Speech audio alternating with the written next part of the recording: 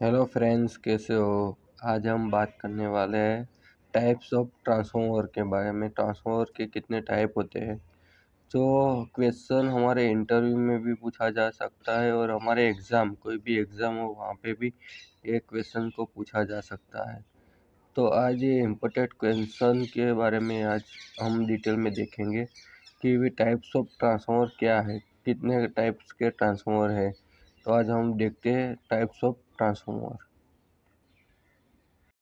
Transformer के type के बारे में देखते हैं तो कोर टाइप होता है। कोर में कौन सी कोर टाइप है, सेल टाइप है और बेरी टाइप है। और वोल्टेज कन्वर्केशन के अनुसार स्टेप अप और स्टेप डाउन टाइप का है। और वो बेसिक पर्पस के हिसाब से टाइप देखें तो power transformer, distribution transformer, isolation transformer, instrumentation transformer, current transformer और पोटेंशियल ट्रांसफॉर्मर। ये हमारे उसके टाइप्स है ट्रांसफॉर्मर के। तो आगे भी हम देखेंगे वो सिंगल को सिंगल फ़ेज़ आता है थ्री फ़ेज़ आता है। तो अभी देखते हैं वाइनिंग में। टू वाइनिंग होता है ऑटो ट्रांसफॉर्मर होता है। इंसुलेशन जो ड्राई टाइप के ट्रांसफॉर्मर होते हैं ऑयल इम्यूनेटेड जिसमें ऑयल डाला हुआ होता है, वो हमारे होते हैं। और फेस तो सिंगल फ़ेज़ और थ्री फ़ेज़ ऐसे हमारे पास दो ट्रांसफॉर्मर होते हैं। तो ये हमारा बेसिक ट्रांसफॉर्मर का टाइप्स हो गए कि इन टाइप्स के हमारे पास ट्रांसफॉर्मर हो सकते हैं। तो ये टाइप्स के हमारे ट्रांसफॉर्मर तो पहले देखेंगे हम कोर टाइप के। कोर टाइप के ट्रांसफॉर्मर में क्या होता है? कोर टाइप के ट्रांसफॉर्मर वो वाइनिंग हमारा बाहर की साइड रहता है और कोर हमारी अंदर की साइड रहता है। अभी आप देख रहे हो इस पिच फ़ोटो में कि हमारा वाइनिंग बाहर की साइड है।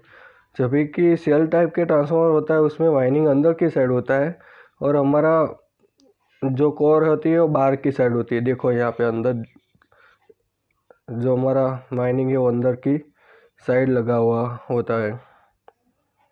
तो उसके बाद आएगा बेरी टाइप का। बेरी टाइप में क्या होता है? वो सिलिंड्रिकल टाइप होता है। सिलिंड्रिकल के अंदर वाइनिंग किया होता है उसका। देखो अभी ये वाला है हमने देखा।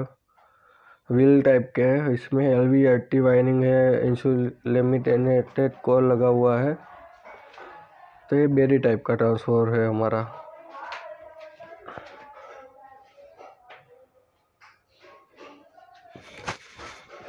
तो अभी हम देखेंगे जो वोल्टेज कन्वोकेशन के अनुसार होता है स्टेप अप और स्टेप अप ट्रांसफॉर्मर होता है, उसमें हम वोल्टेज लेवल को स्टेप अप करते हैं। जो हमारा जनरेशन स्टेशन होता है, वहाँ से हम स्टेप अप करते हैं ट्रांसमिशन करते हैं उसको। बाद में उसका डिस्ट्रीब्यूशन में स्टेप डाउन होता है। तो आगे हम देखेंगे स्टेप डाउन वाला। तो स्टेप डाउन में भी क्या करते हैं, जो हमारा स्टेप अप होके जो ट्रांसमिस ट्रांसमिशन में से पावर आता है, उसको स्टेप डाउन करते हैं। जो हमारा रेसिडेंशियल हो गया इंडस्ट्रियल एरिया हो गया, वहाँ पे हम स्टेप डाउन टाइप के हम ट्रांसफार्मर का यूज़ करते हैं। और पावर ट्रांसफार्मर पावर ट्रांसफार्मर हम जब जहाँ पे जनरेटिंग स्टेशन होता है ट्रांसमिशन सब स्टेशन होता है, वहीं यूज़ करते हैं उसकी एफिशिएंसी हंड्रेड परसेंटेज रहती है। और मैक्सिमम रेटिंग उसका 200 सौ तक का रहता है उसका। तो उसके बाद हम देखेंगे इंस्ट्रूमेशन ट्रांसफॉर्मर और डिस्ट्रीब्यूशन ट्रांसफार्मर डिस्ट्रीब्यूशन ट्रांसफार्मर में क्या होता है, जो हमारा लो वोल्टेज होता है लो वोल्टेज साइड उसको यूज़ करते हैं। होम एप्लीकेशन इंडस्ट्री इक्विपमेंट में हम डिस्ट्रीब्यूशन ट्रांसफार्मर का यूज़ करते हैं। उसकी एफिशिएंसी फिफ्टी परसेंटेज लोड पे हमको मैक्सिमम मिलती है। उसके बाद आएगा आइसोलेटेड ट्रांसफार्मर तो इसमें primary and secondary wiring independently of the each other or they are only magnetary flux relationship between them. तो फ्लक्स रिलेशन बिटवीन देम यानी कि इसमें फ्लक्स के द्वारा ही कनेक्ट रहता है। बाकी और कोई रीते इसमें कनेक्ट रहता नहीं है आइसोलेटेड रहता है।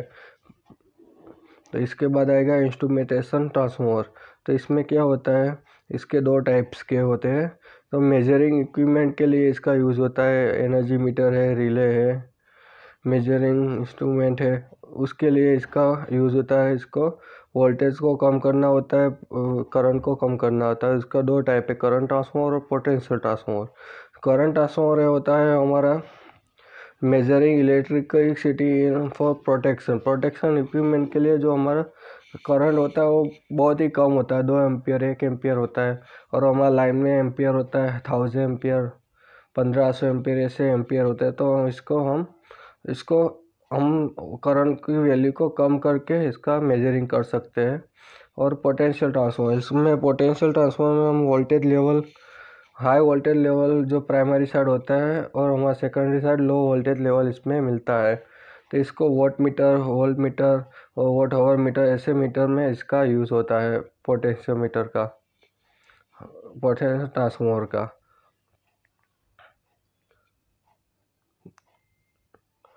तो अब देखेंगे वाइनिंग वाइनिंग में क्या है? दो वाइनिंग वाला और ऑटो ट्रांसफॉर्मर दो वाइनिंग में क्या होता है? एक प्राइमरी वाइनिंग होता है और एक सेकेंडरी वाइनिंग होता है। दो दोनों वाइनिंग हमारा सेपरेट होता है। जबकि हमारा ऑटो ट्रांसफॉर्मर होता है उसके अंदर एक ही वाइनिंग में हम प्राइमरी और सेकेंडरी कनेक्ट करते हैं। और हम टाइप हमारा ड्राई टाइप का है और उसमें क्या होता है? उसमें ऑयल यूज़ नहीं करते हैं। उसमें हम प्रेशराइज एयर का यूज़ करते हैं इसके दो टाइप से, कास्ट, रेन, ड्रेन टाइप का ट्रांसफॉर्मर है और वैक्यूम प्रेशर इंटीग्रेटेड ट्रांसफॉर्मर है। और ऑयल इम्यूनेटेड ट्रांसफॉर्मर होता है, उसमें हम ऑयल ऑयल का यूज़ करते हैं और ये ऑयल हमारा कूलिंग मेथड में भी यूज़ होता है, उसका टेम्परेचर ट्रांसफॉर्मर को मेंटेन करने के लिए ऑयल का भी यूज़ होता है। इसके लिए, इसके अंदर इंसुलेशन के लिए ऑयल यूज़ होता है। और हमारा सिंगल फ़ेज़ ट्रांसफॉर्मर है। तो इसका हमारा जो कॉस्ट है डिमांड है वो थ्री फ़ेज़ डिस्ट्रीब्यूशन ट्रांसफॉर्मर से कम रहता है। और इसका यूज़ हम home voltage to suitable for value without a changing frequency हमारी फ्रीक्वेंसी चेंज नहीं होती और एक कॉमनली इलेक्ट्रॉनिक्स एप्लीकेशन के लिए यूज़ होता है, हमारा सिंगल फ़ेज़ ट्रांसफॉर्मर और हम लास्ट में देखने वाले हैं थ्री फेस ट्रांसफॉर्मर तो यह सिंगल फेस ट्रांसफॉर्मर है, वैसे ही हमारा ये थ्री फेस ट्रांसफॉर्मर है। तो इसमें थ्री फेस रहेगा और सिंगल फेस रहेगा, यहाँ पे थ्री फेस रहेगा। तो आज हमने देखा टाइप्स ऑफ़ ट्रांसफॉर्मर हमने डिफरेंट टाइप के, आज हमने उसके टाइप्स देखे हैं, जो हमारे एग्ज़ाम और इंटरव्यू में काम आएँगे। ऐसे ही वीडियो देखने के लिए हमारे चैनल को लाइक और सब्सक्राइब कीजिए। आपको ऐसे नए नए वीडियो मिलते रहेंगे।